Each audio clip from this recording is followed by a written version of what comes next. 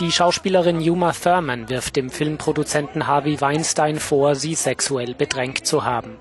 Thurman folgt damit dem Beispiel mehrerer ihrer Kolleginnen, die ähnliche Vorwürfe gegen Weinstein erhoben haben.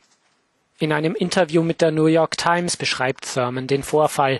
Zum Zeitpunkt des Übergriffs habe sie Weinstein schon sehr gut gekannt, aber Warnzeichen übersehen. Bereits im Herbst hatte es erste Anzeichen gegeben, dass Thurman etwas zu dem Thema sexueller Belästigung und frauenverachtenden Verhaltens in Hollywood sagen möchte. Auch ihr Bruch mit Weinstein wurde damals öffentlich.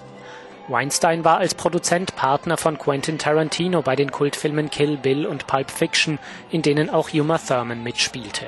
Nach den Vorwürfen von Schauspielerinnen hatte Weinstein Fehlverhalten eingeräumt, den Vorwurf der Vergewaltigung aber zurückgewiesen